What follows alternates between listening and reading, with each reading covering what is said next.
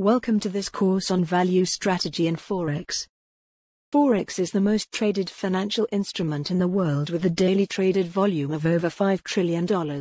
Due to high liquidity in the FX market, leverage provided by the brokers is much higher compared to stocks, making it a lucrative trading instrument.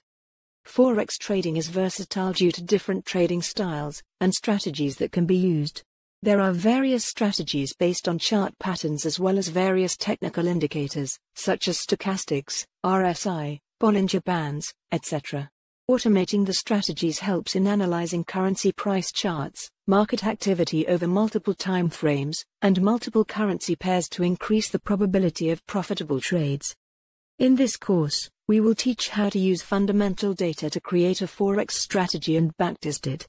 This course consists of four sections.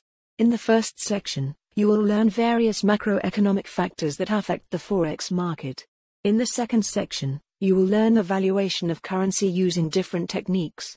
In the third section, you will learn an FX strategy using the real effective exchange rate. In the fourth and final section, you will learn to code the same strategy in Python. There are different currency valuation techniques which you will learn throughout this course. Some of these are purchasing power parity, nominal effective exchange rate, real effective exchange rate. These topics help you in a better understanding of the Forex market.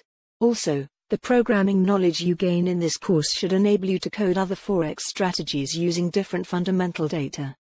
This self-paced course is designed to comprehensively cover the concepts of Forex through a mixture of videos, reading documents, multiple choice questions, and lots of interactive coding exercises.